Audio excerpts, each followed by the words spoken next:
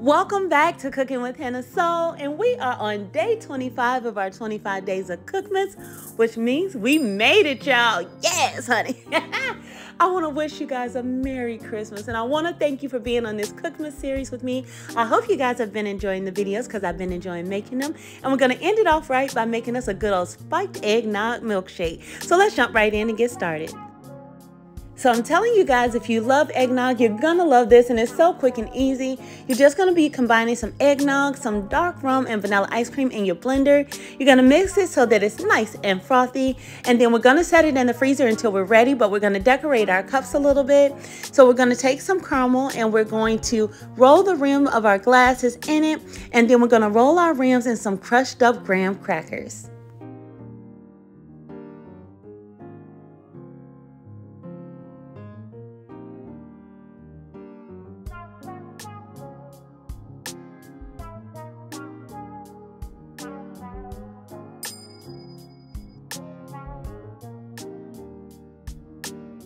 So once your glasses are done, go ahead and pull your milkshake out of the freezer.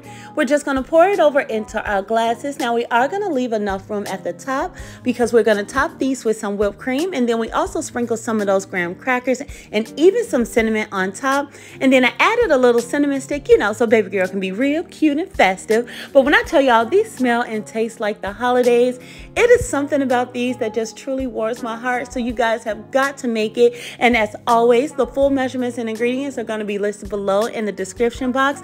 And again, Merry Christmas, y'all. And until next time, bye, y'all.